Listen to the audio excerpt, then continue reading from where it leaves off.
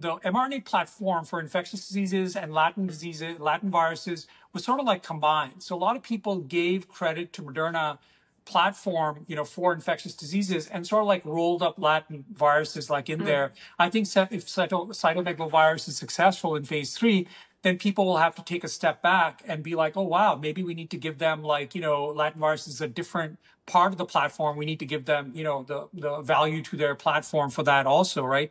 Both through uh, future sales and earnings projections and through the multiple like expanding, right? So let's wait and see. We don't want to get ahead of ourselves.